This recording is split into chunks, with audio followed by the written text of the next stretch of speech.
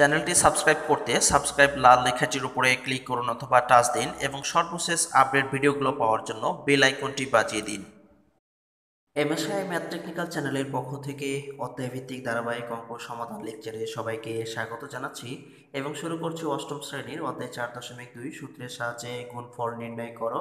আমরা এই চার দশমিক দুই অধ্যায়ের পনেরো নম্বরের যে আটটি অঙ্ক ছিল, এর মধ্যে আমরা অলরেডি এর পূর্বে ছয়টি অঙ্ক সমাধান করে দিয়েছি। এখন আমাদের শেষ যে দুটি অঙ্ক আছে, এই দুটি এই ভিডিওতে আমরা সমাধান করব। অর্থাৎ পনেরো, ছ এবং বর্গীয় ছ নম্বর। এই দুটি অঙ্ক আমরা এখন সমাধান করব। তো কীভাবে তোমরা এই অঙ্কগুলোকে সূত্রের সাহায্যে কোন ফল নির্ণয় করবে। যদি তোমরা এই ভিডিওটি শেষ পর্যন্ত দেখো, তাহলে খুব সহজেই বুঝে নিতে পারবে যে আসলে সূত্রের সাহায্যে বা সূত্র প্রয়োগ করে কীভাবে গুণফল নির্ণয় করতে হয়। তা আমরা প্রথমে ছ নম্বর দিয়ে শুরু করব এই অঙ্কটি দিয়ে, এরপরে আমরা বর্গীয় ছ নম্বর দিয়ে শেষ করব। তা আমরা এখন পনেরো ছ নম্বর অঙ্কটি আগে লিখব। লেখার পরে আমরা এখানে পনেরো ছ নম্বরের যে অঙ্কটি আছে, এই অঙ্কটি প্রথমে লিখি, লেখার পরে আমরা এটাকে সূত্রে নিয়ে আসব। তো এখন আমরা এটি করব। তো অঙ্কটি প্রথমে দেখেই তোমরা হয়তো মনে করছ যে আসলে কত বড় অঙ্ক বা অনেক বড় হতে পারে। আসলে এই অঙ্কটি মাত্র ছোট্ট অঙ্ক দুই লাইন, তিন লাইনের মধ্যে হয়ে যাবে। এটি দেখতে পাচ্ছ তোমরা। তো আমরা আগে বোঝানোর চেষ্টা করি আর তোমরা বোঝার চেষ্টা করো, তাহলে সহজ হবে। তো এখানে দেখতে পাচ্ছি এক্স প্লাস এ তো আমরা এক্সটাকে ধরে নিচ্ছি এ আর এটাকে ধরে নিচ্ছি বি মনে মনে সূত্র প্রয়োগ করার জন্য। আমরা যদি A plus B into A square minus A B plus B square এটা সমান একটা সূত্র পড়েছি যে A plus B into A square minus A B plus B square এটা সমান আমরা জানি যে A cube plus B cube তো আমরা এখানে এটা লিখে ফেলি। তাহলে তো আমাদের হয়ে গেল। আমরা এটাকে এ ধরছি, তাহলে A cube plus B cube, অর্থাৎ বি বলতে এ ধরেছি A cube plus B cube হয়ে গেল। অর্থাৎ A cube plus B cube সমান আমরা জানি A plus B into A square minus A B plus B square. এটা করে দিলাম। এটাও একই অবস্থা। এখানে আমরা এক্সকে ধরছি এ আর এ কে ধরছি বি, অর্থাৎ A minus B into A square plus A B plus B square. তো A minus B into A square plus A B plus B square এটা সমান আমরা সূত্র কি জানি? এটা সমান আমরা সূত্র জানি যে A cube minus B cube অর্থ সরি এখানে বি কিউব বলতে এ তো A cube minus B cube. তো এই হলো আমাদের এই সূত্র আমরা লিখে দিলাম। এখন শুধুমাত্র এখানে আরও একটি সূত্র হয়েছে। তোমরা একটু লক্ষ্য করো, তাহলে বুঝতে পারবে যে এখানে আরও একটি সূত্র হয়েছে, অর্থাৎ A plus B into A minus B আমরা এক্সকে ধরে নিলাম এ আর এ কিউবকে ধরে নিলাম বি তো A plus B into A minus B তো এটা সম্বন্ধে আমরা সূত্র জানি যে A square minus B square তো এখানে এ বলতে X cube A square minus B বলতে এ কিউব এর উপর স্কোয়ার করে দিলাম। তো এখন যেহেতু স্কোয়ার করেছি, তাহলে আবার এটাকে হিসেব করে নিতে হবে। তো যদি হিসেব করি আমরা, তাহলে কী হবে?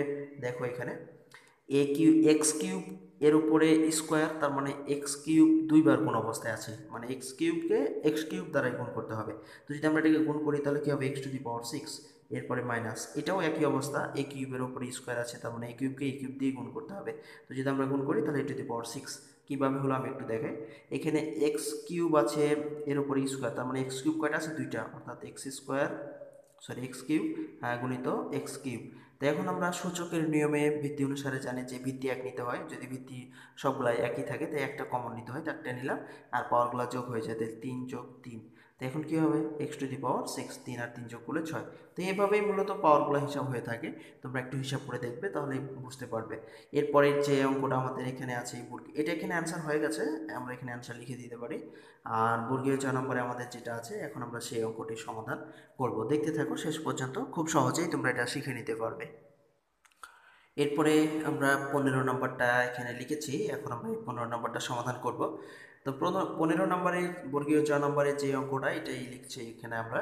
তো এখানে এই যে এই জায়গাটা, এই জায়গাটাকে আমরা প্রথমে সূত্রে নিয়ে আসব। নিয়ে আসার পরে আমরা এই এখানে একটি সূত্র প্রয়োগ করব। তো দেখো, এখানে আমরা সমাচিহ্ন দিব। দেওয়ার পরে five A plus three B এটা যা ছিল ঠিক ঠিক তাই রেখে দিলাম। সেকেন্ড ব্র্যাকেট দিব। তো যেহেতু আমাদের এখানে সূত্রে নিয়ে আসতে হবে, তাই পঁচিশকে আমরা ভেঙে নিব। কীভাবে? এই যে এ ফাইভ এটা মনে মনে এ ধরে নিব এবং থ্রি বিটাকে আমরা বি ধরে নিব।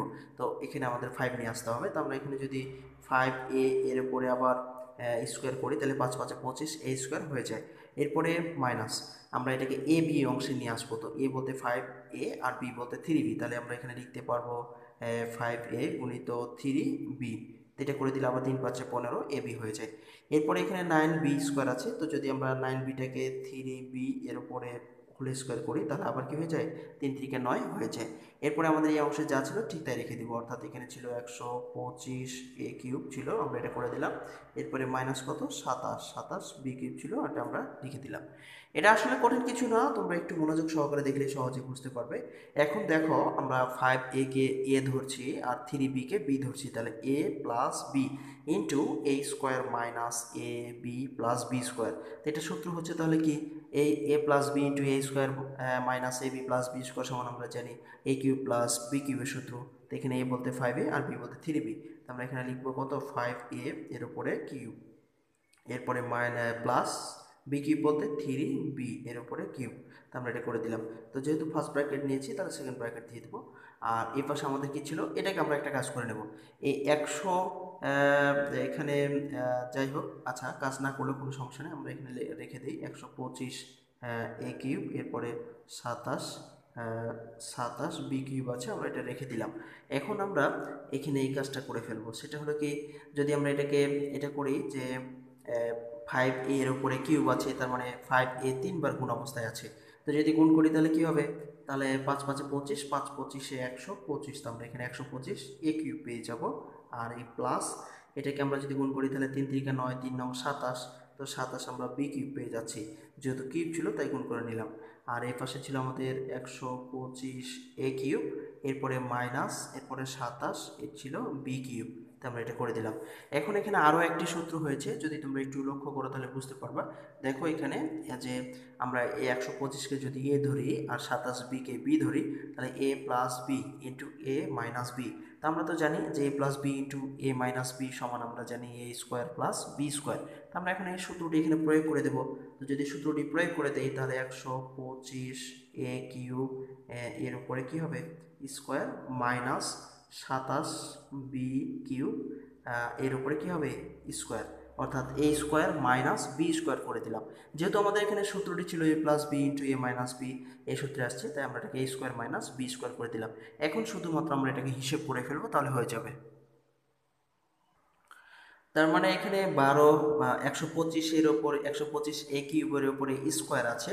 তার মানে একশো পঁচিশ এ কিউবকে একশো পঁচিশ এ কিউব দ্বারাই গুণ করতে হবে। তো এটা তোমরা ক্যালকুলেটারে করে দেখবে যে আমরা এখানে পাবো পনেরো হাজার ছশো পঁচিশ আর এ টু দি পাওয়ার সিক্স। আর সাতাশের উপর স্কোয়ার তাহলে সাতাশকে সাতাশ দিয়ে যদি আমরা গুণ করি, তাহলে সাতাশকে সাতাশ দিয়ে গুণ করলে পাবো আমরা সাতশো উনত্রিশ তাহলে এখানে সাতশো উনত্রিশ দিব আর B to the power six তো এইটাই হয়ে গেল আমাদের আনসার তো এই ছিল আমাদের এই পনেরো নম্বরের যে আটটি অঙ্কের শেষ দুটি অঙ্ক, এই চ ছয় এবং বর্গীয় ছ নম্বর, এটি আমরা সমাধান করে দিলাম। তো যদি ভালো লেগে থাকে, তাহলে অবশ্যই তোমরা ভিডিওতে একটি লাইক দিয়ে কমেন্ট বক্সে তোমাদের মতামতগুলো লিখে জানাবে। আর যদি চ্যানেলটি সাবস্ক্রাইব করে না থাকো, তাহলে অবশ্যই এক্ষুনি সাবস্ক্রাইব করে নাও। নিচে যে ভিডিওর নিচে যে বেল আইকনটি লাল লেখা লাল লেখা সাবস্ক্রাইব এর উপরে টাচ দিলে সাবস্ক্রাইব হয়ে যাবে এবং পাশে একটি বেল আইকন আসবে। বেল আইকনটিতে টাচ দিলে এই বেল আইকনটি বেজে যাবে। আর এটি বাজার কারণ হলো যে আমরা যখন নতুন নতুন ভিডিওগুলো আপলোড করি, তখন অবশ্যই তোমাদের নোটিফিকেশানে সেটা চলে যাবে। তো যাই হোক শত ব্যস্ততার মাঝেও আজকের এই লেকচারটি দেখার জন্য অসংখ্য ধন্যবাদ। যদি ধন্যবাদ। আর তিনটি সবার ভালো কাটুক। এই প্রত্যাশায় আপাতত আজকে এখানে শেষ করছি। খোদা হাফেজ।